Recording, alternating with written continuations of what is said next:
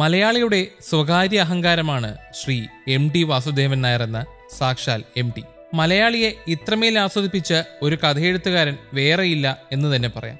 അത്രയ്ക്ക് മലയാളിയുടെ വൈകാരിക അവസ്ഥകളെ ഈ പ്രതിഭ സ്വന്തം സർഗാത്മകതയാൽ കൊള്ളയടിച്ചു.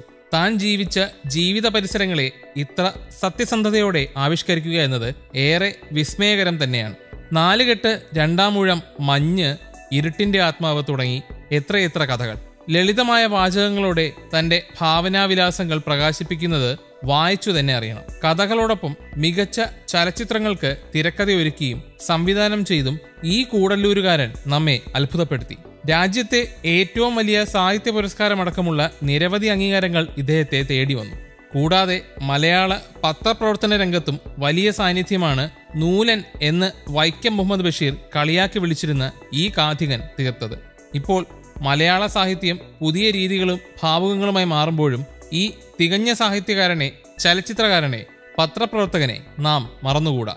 കാരണം മലയാളം എന്ന ഭാഷയെ വലിയ ഔന്നത്യത്തിലെത്തിച്ച ഒരു വലിയ പ്രതിഭയാണ് എം ഡി വാസുദേവൻ നായർ എന്ന ഈ മനുഷ്യൻ. എം ടിക്ക് കൗമുദി ടി വിയുടെ പിറന്നാൾ ആശംസകൾ.